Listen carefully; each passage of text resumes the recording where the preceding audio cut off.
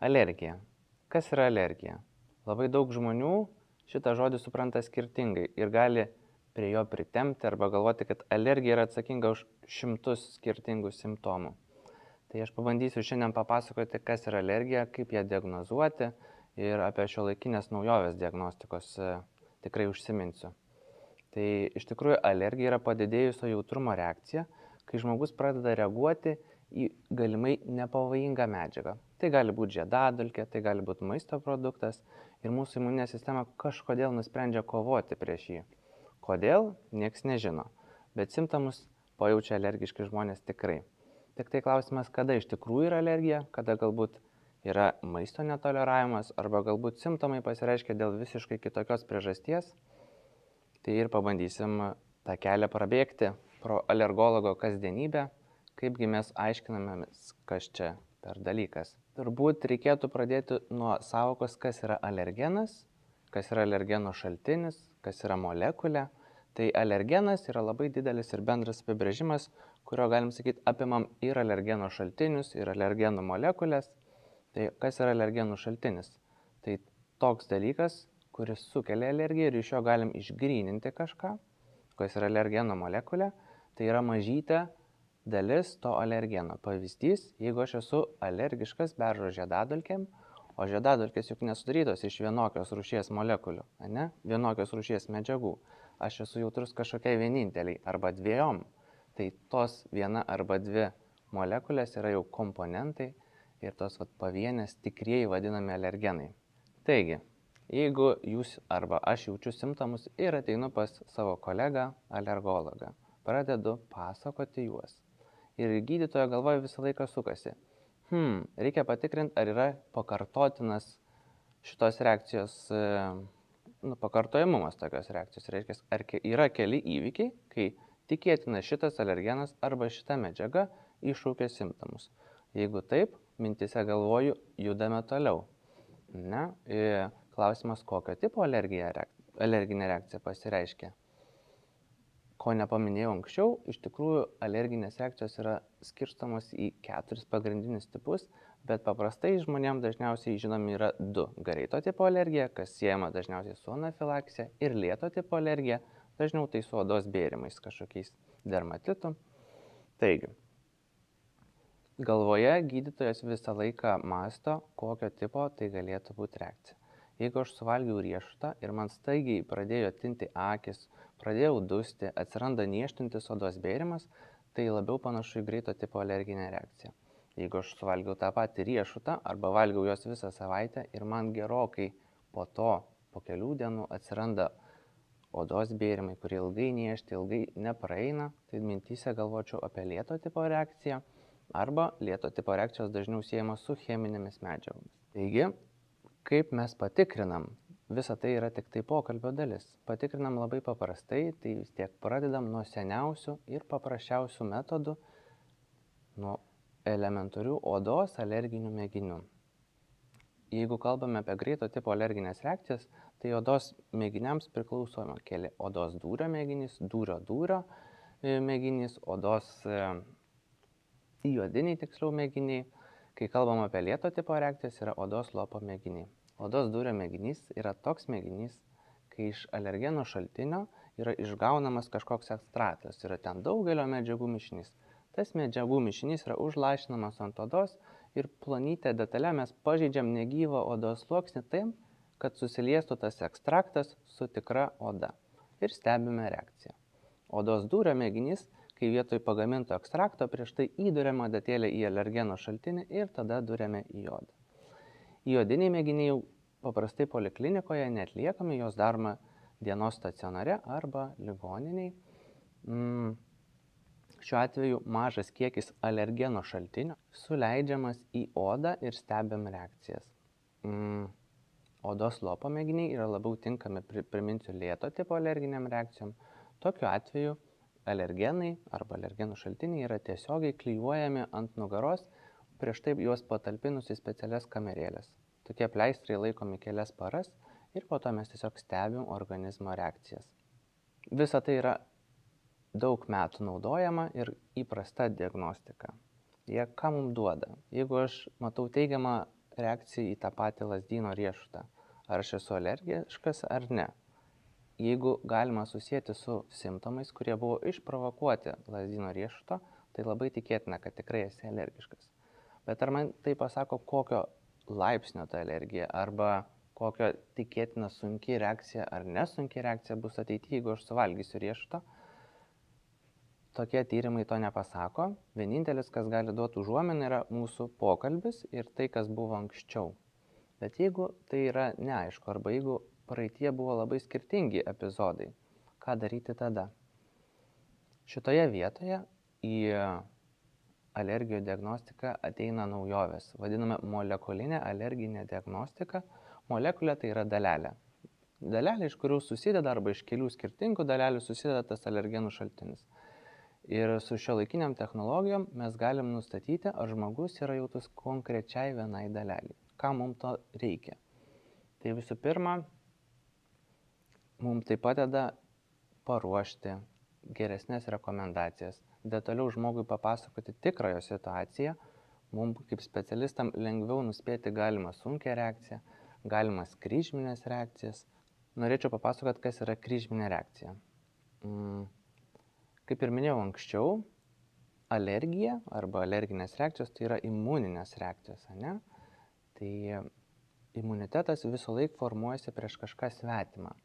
Ir jeigu, kaip prieš tai daviau pavyzdį su lasdyno riešutu, jeigu lasdyną aš suvalgau arba suvalgo pacientas ir imuninė sistema atpažįsta vieną iš jo baltymų, jinai natūraliai atpažįsta visus riešuto baltymus, tik tai prieš kai kurios nusprendžia kovoti. Reiškia, vyksta alerginio tipo reakcija ir gaminasi specifiniai antikūnai. Reiškia, išmokstamai specifiškai kovoti prieš tam tikrą riešuto smulkę dalelę, tą molekulę.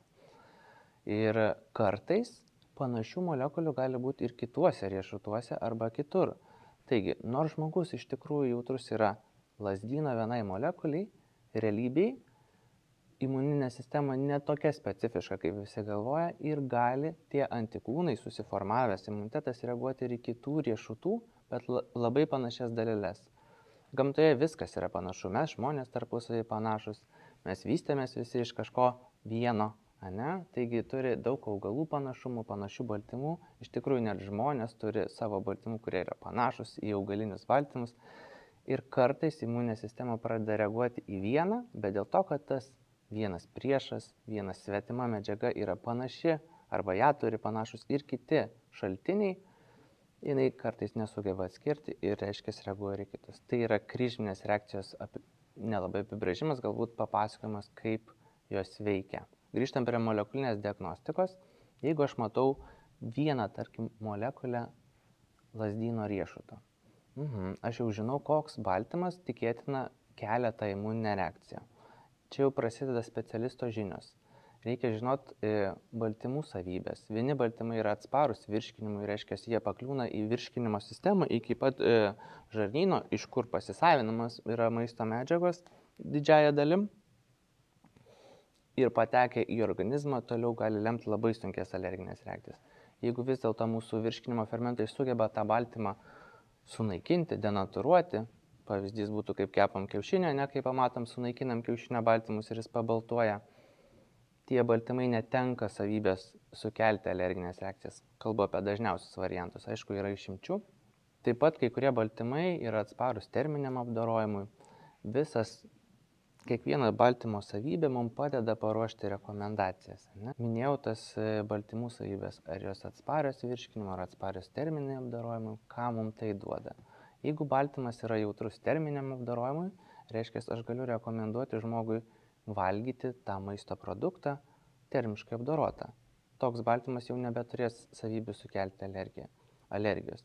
Jeigu baltymas yra jautrus virškinimo fermentams, reiškia, jau žinau, kad jis mažai tikėtina, kad sukels sunkes alerginės reakcijas. Tai dažniausiai bus lokalios burnos reakcijos, kur dar tas baltymas, ta molekulė yra nepakitusi, nepaveikta virškinimo fermentų.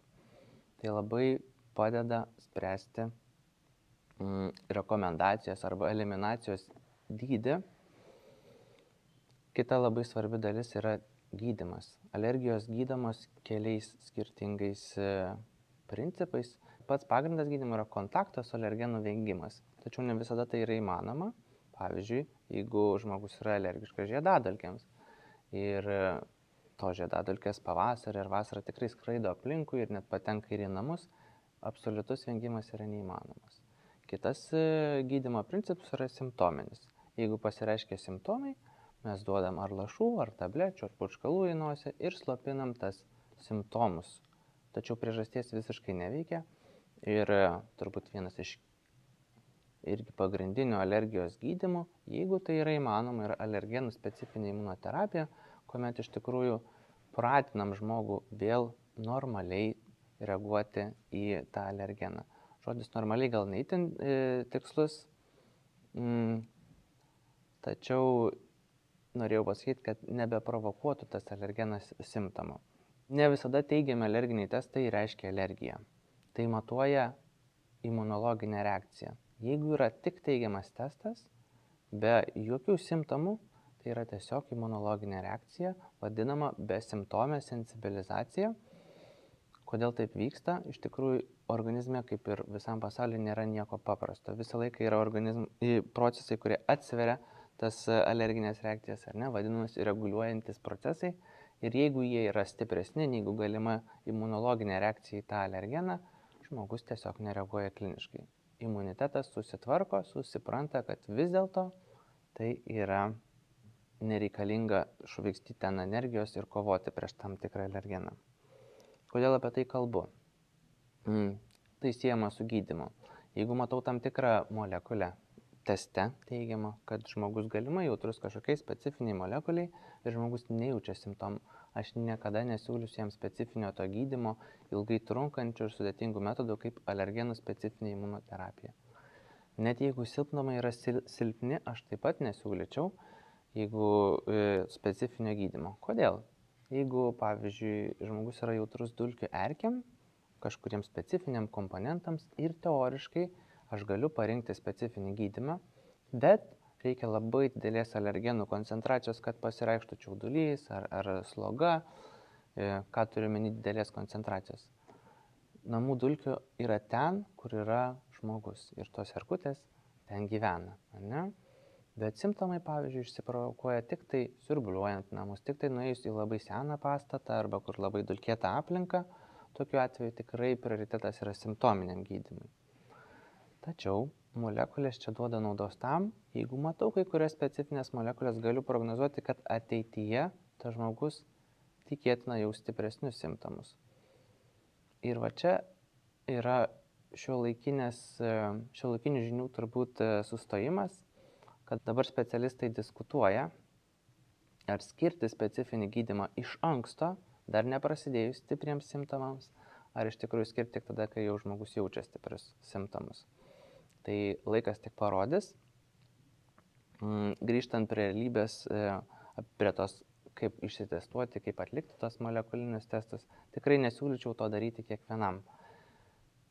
Pats pagrindas - pokalbis su specialistu. Tie patys pirmieji tyrimai yra greiti, dažniausiai nemokami, jeigu neinat privačiai, e, yra labai tinkamas kelias pradėti kelionės pas alergologą, pradėti aiškintis simptomų kilmę Tačiau, jeigu jau specialistas patiria, jeigu yra labai daug įvairių simptomų, jeigu neaiškios sudėtingos buvusios reakcijos arba tiesiog negali suprasti, kas sukėlė kokią reakciją, tada tokie tyrimai tikrai turi naudos.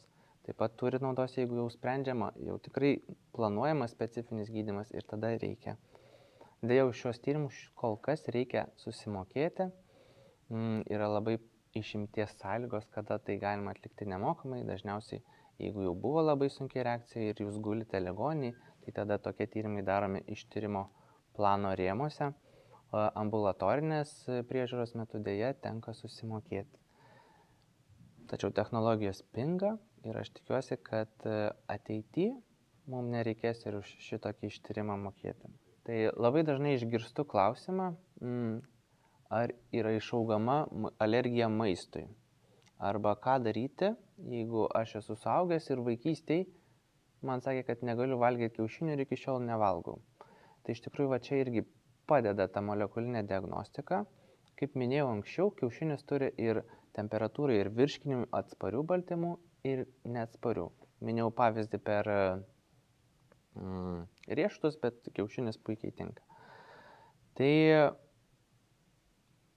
bendrai laikoma, kad e, dažniausiai alergija pienui, kiaušiniams yra išaugiama, išaugama. Tačiau čia e, jau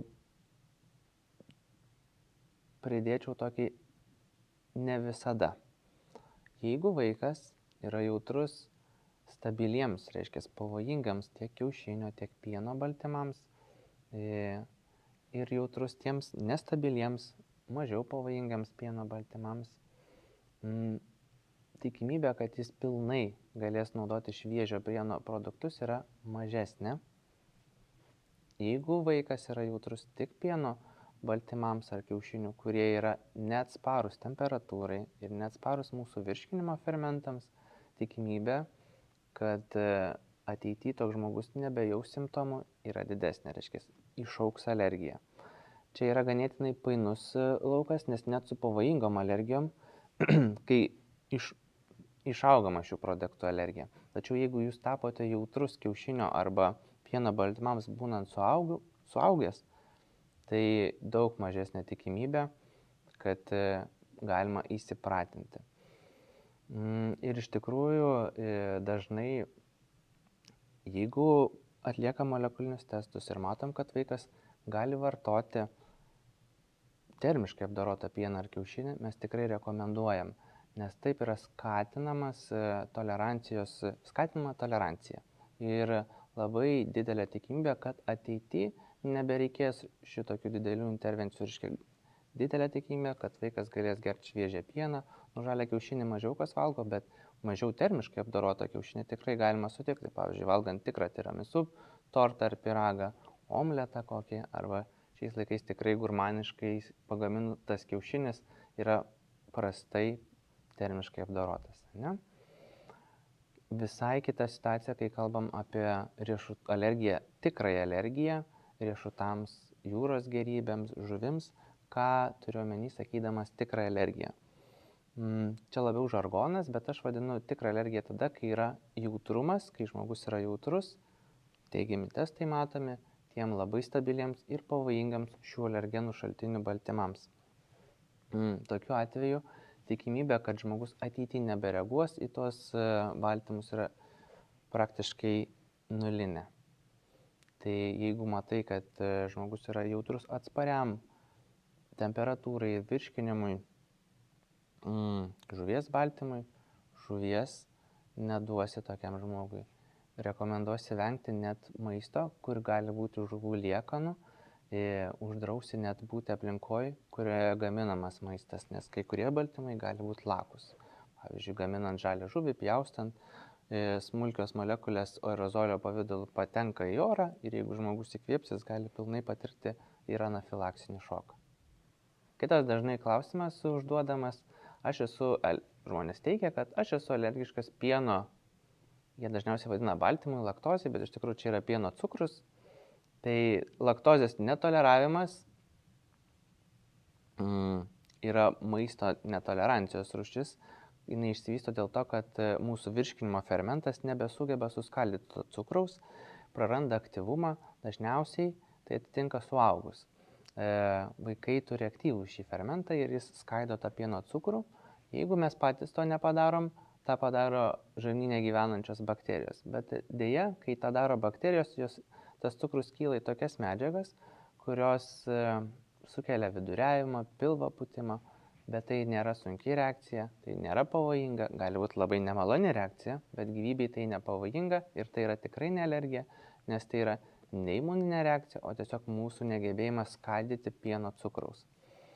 Mm, iš čia kitas klausimas labai dažnai žmonės šiais laikais myli arba daug kas rekomenduoja atlikti maisto netolerancijos testus jų metodika yra praktiškai identiška alerginių tyrimų e, metodikai ir gali taip pat net prieš pavienius e, komponentus, prieš pavienius baltymus daryti tokį testą.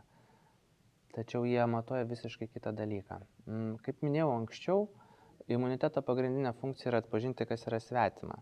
Tai galite įsivaizduoti, kad e, bet kuris maisto produktas tikrai nesutampa su mūsų organizmo sudėtimi. Ne? Tai visiškai natūraliai mūsų imunitetas atpažįsta kiekvieną skirtingą maisto e, baltymą ir formuoja kažkokios rūšies imunitetą. Dažniausiai tokie, toks imunitetas e, nulėmė signalą nekovoti ir būtent e, tokį atsaką mm, ir turėtumėm vystytis. Jeigu mes iš tikrųjų pradėtumėm kovoti prieš visą įmanomą maistą, neišgyventų niekas. Ne, gimtumėm ir nuo sunkių žarnyno uždegiminių reakcijų numirtumėm greitai. Kalbant apie šitus testus, turėčiau papasakoti tiesiog dar vieną smulkmeną, kurios anksčiau neužsiminiau. Kai kalbam apie alergiją, tai greito tipo alergija siejama su specifiniu antikūno tipu imunoglobulino E. Ką reiškia žodis specifinis? Tai specifinis kažkam, specifinis vienam baltymui, specifinis kitam baltymui. Arba alergenų šaltiniai, jeigu naudojame ekstraktus. Aš turiu antikūnų E klasės prieš katę, galimai esu alergiškas katėjai. Kolega turi antikūnų prieš namų dulkių erkės, kurie yra imunoglobulino E klasės, galimai e, ta, mano kolega yra alergiškas namų dulkių erkėm. Kodėl sakau galimai, tiesiog noriu pasikartoti, jeigu mes po kontakto, aš su kate, kolega su dulkiam pajaučia simptomus, yra testai teigiami, taip, mes esame alergiški. Bet taip pat, pavyzdžiui, mano kolegė gamina kitos klasės antikūnus, imunoglobulinus G prieš katę ir jinai nejaučia simptomų prieš katę. Bet katės baltymai patekę į mūsų nosiariklę, kai laižosi kailiuką, vis tiek po to aerozolio pavydalu patenka katės baltymai į mūsų nosiariklę ir supranta, kad tai yra svetima medžiaga ir pasižymi savo, bet nekovoja. Tai grįžtant prie maisto netolerancijos testų, iš tikrųjų šitie testai iš esmės tyria natūralią organizmo reakciją, fiziologinį procesą.